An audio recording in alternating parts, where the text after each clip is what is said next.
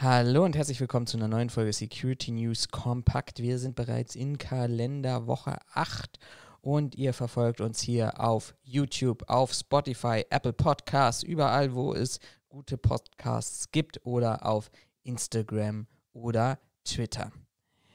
Auch diese Woche habe ich wieder vier Themen mitgebracht und diese vier Themen wollen wir uns mal ein bisschen näher beschauen, anschauen.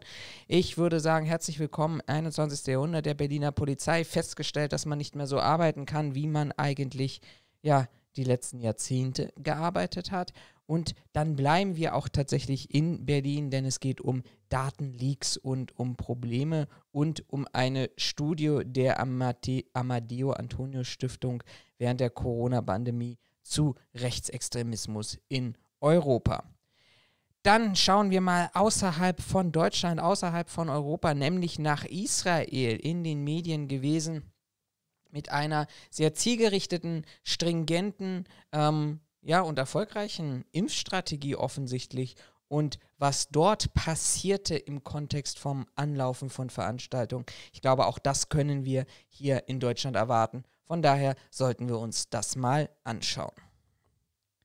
Starten wir aber gleich mal mit dem ersten ähm, Artikel und der ist überschrieben mit der Thematik Nagelbefall und Ausfall der Einsatzleitstelle bei der Berliner Polizei. Was war passiert? Bereits am 21. Januar, also knapp jetzt einen Monat her, ähm, dauerte dieser 40 Minuten lange Ausfall der Berliner Einsatzzentrale. Die Notrufannahme war Gott sei Dank nicht davon betroffen gewesen, aber die Funkwagensteuerung, das LKA sowie der Begleitschutz und der Verkehrsdienst sind für 40 Minuten ausgefallen. Jetzt könnte man sagen, das, was ja auch wir in der privaten Sicherheitswirtschaft immer wieder ja, erleben oder wo wir uns an Normen halten müssen, also Alarmempfangszentralen, NSLen oder ähnliches, Redundanzen geschaffen, um praktisch solche Ausfälle nicht stattfinden zu lassen. Ja, Pustekuchen in Berlin. Nein, es gibt kein Redundanzsystem für die IT in der Einsatzleitzentrale. Ähm, folglich musste praktisch wie vor 30, 40, 50 Jahren, aber sicherlich bei einem geringeren ähm, Einsatzaufkommen damals, heute mit Papier und Stift gearbeitet werden. Ähm, bis heute ist tatsächlich nicht rausgekommen, wo, was der eigentliche Grund war. Ähm, man hat tatsächlich Fressspuren von Mäuse und ähm, ähm Kot von Mäusen gefunden ähm, in Köderboxen, die man im Außenbereich aufgestellt hat. Jetzt hat man eine Schädlingsbekämpfungsfirma damit beauftragt, diesen mal auf die Spur zu gehen. Aber Botschaft muss sein, es ist traurig, dass wir im 21. Jahrhundert bei der Berliner Polizei tatsächlich hier keine Redundanzsysteme haben, wenn das eine ausfällt und das andere bleibt, dass wir eben dann zu Zettel, Papier und Telefon greifen müssen. Schreibt mal in die Kommentare rein, ob ihr wisst, wie es bei eurer Polizei ist, ob das ähnlich ist oder ob dort tatsächlich ähm, ja, Redundanzsysteme vorgehalten werden. Zweiter Artikel, und da bleiben wir auch tatsächlich ähm, in Berlin. Ihr erinnert euch, und ich verlinke es euch an dieser Stelle hier gerade nochmal. Ähm, Berlin, 29. August, der Sturm auf die Reichstagstreppe. Gott sei Dank sind die Demonstranten damals nicht so weit gekommen, wie wir das aus dem Berliner Kapitol her kennen. Ähm, aber auch das letztendlich ein Schlag ins Gesicht der Demokratie. Nun sind beim rechtsextremen oder in einem rechtsextremen Chat beim Messenger-Dienst Telegram interne Fahndungsrufe, der Aufrufe der Berliner Polizei aufgetaucht. Auch ähm, dieser Chat letztendlich auch betitelt mit ähm, Sicherheitsinformationen für Nationalisten, glaube ich, ist die Überschrift dafür.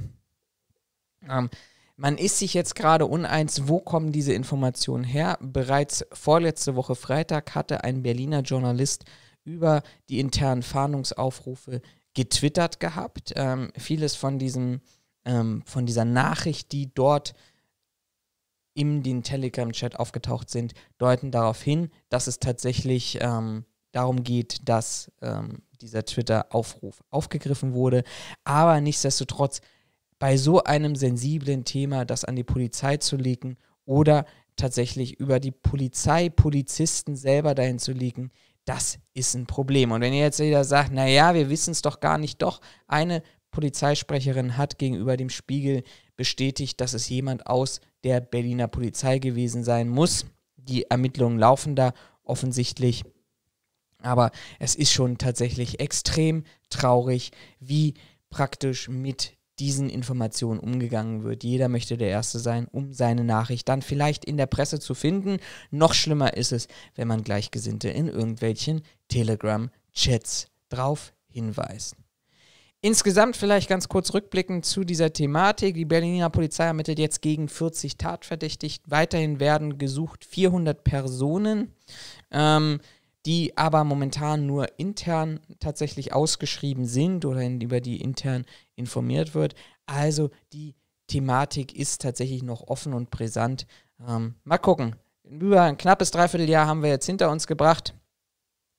Ähm, hätte man ein bisschen mehr vielleicht Ermittlungsergebnisse erwartet, vor allem weil dort auch ja diese Bilder im Internet verfügbar waren und ähm, man kann ganz gut das mal schauen und vergleichen mit dem US-Kapitol äh, mit der Erstürmung. Da hat das FBI zusammen mit anderen Organisationen relativ schnell Screenshots von den beteiligten Demonstranten ähm, gesichert, ausgewertet. Personen sind noch am selben Tag festgenommen worden, wiedererkannt worden oder auf Terrorfahnenlisten ähm, gesetzt worden, damit sie nicht aus Washington ausreisen können.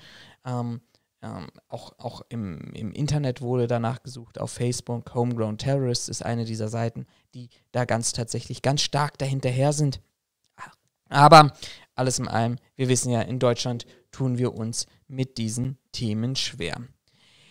Wie ihr im Internet recherchieren könnt, wie ihr praktisch dafür sorgen könnt, dass ihr die Informationen bekommt, die ihr benötigt für eure Arbeit. Jedes Mal weise ich darauf hin, aber auch jetzt wieder der Hinweis hier an dieser Stelle.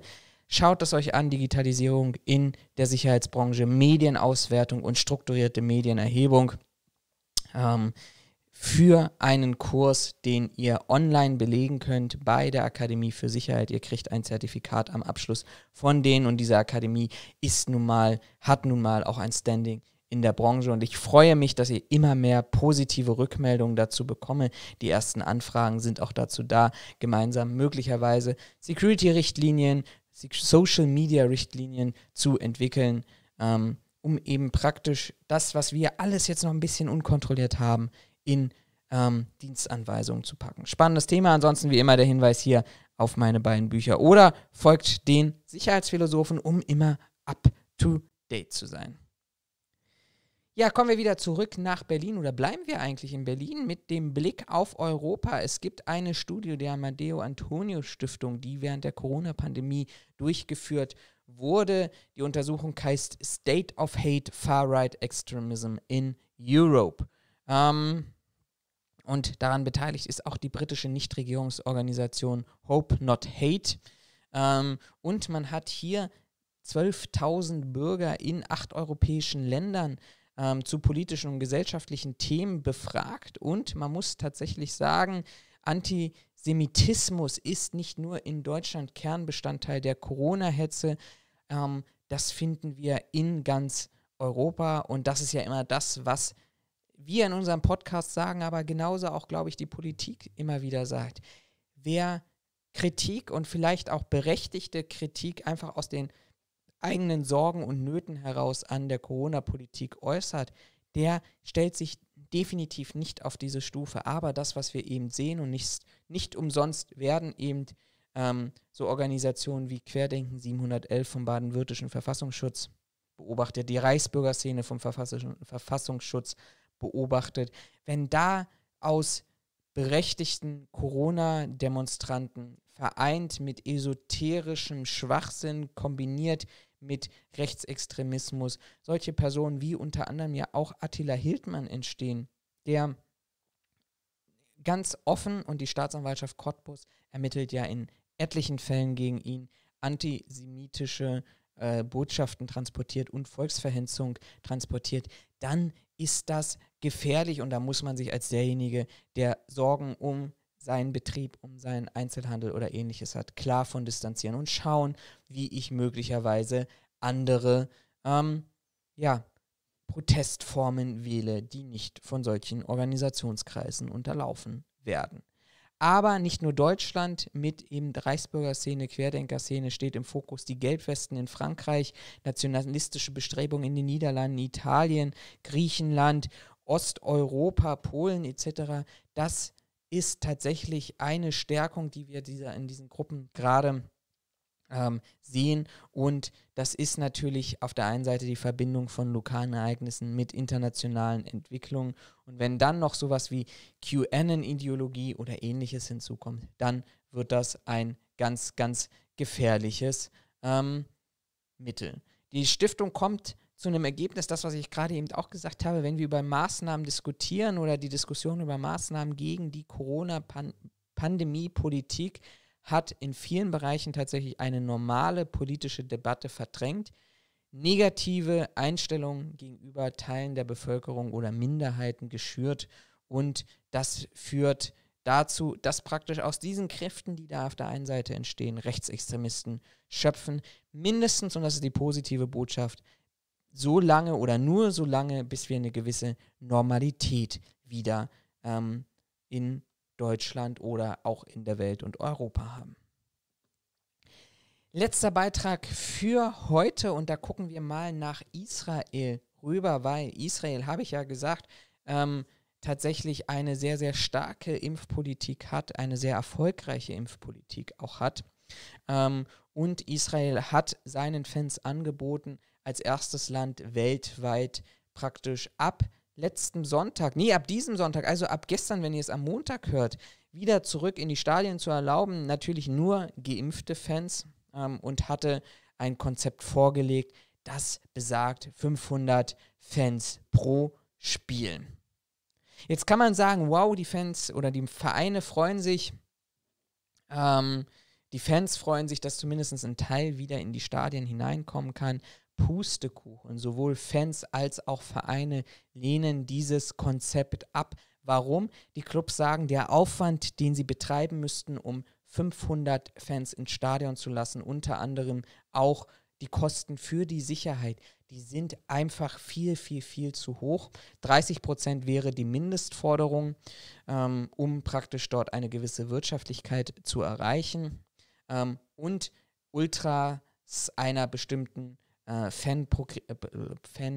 Fangruppierung aus Tel Aviv hatten angekündigt, dass sie mit 5000 Menschen zum Stadion marschieren. Also auch da ist die Akzeptanz nicht hoch, um praktisch zu akzeptieren, dass nur ein Teil wieder ähm, in die Stadien kommt. Zudem viele sehr praktische Probleme, wie und wer kontrolliert, ob die Fans wirklich geimpft werden, dürfen Getränke und Speisen verkauft werden, dürfen Plakate, Choreografien im Stadion umgesetzt werden. Alles das ist tatsächlich, ja, offen. Ähm, man hat sich jetzt darauf geeinigt, dass man weiterhin vor leeren Rängen spielt. Nächste Hoffnung ist der 9. März. Auch da würde praktisch parallel zu der Impffortschreitung in Israel ähm, die nächste Lockerungsstufe in Kraft treten und dort würde man tatsächlich dann möglicherweise mit mehreren tausend Fans pro Spiel rechnen.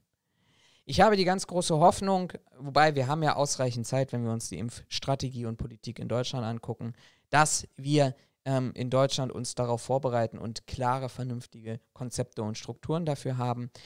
Ähm, wir können gerade an anderen Ländern lernen, was schief läuft. Ich sage immer wieder, das ist das, die erste Pandemie, die wir haben. Es passieren hier nun mal Fehler und diese Fehler dürfen auch gemacht werden. Nur wenn wir jetzt praktisch in Israel, in Tel Aviv sehen, was dort passiert, dann können wir gleichzeitig auch uns schon mal darauf vorbereiten und dann bestimmte Fehler nicht machen mit einem vernünftigen Konzept. Ja, und das soll es dann tatsächlich auch für diese Woche mal wieder gewesen sein. Ich hoffe, ihr seid ausreichend informiert worden, habt eine schöne Woche, bleibt vor allem gesund, haltet euch an die Regeln, die es immer noch gibt, bleibt auf der sicheren Seite und vor allem nicht vergessen, Glocke drücken, abonnieren und euren Freunden und Kollegen erzählen, dass es diesen Podcast gibt. Von daher herzlichen Dank fürs Zuhören und bis zum nächsten Mal.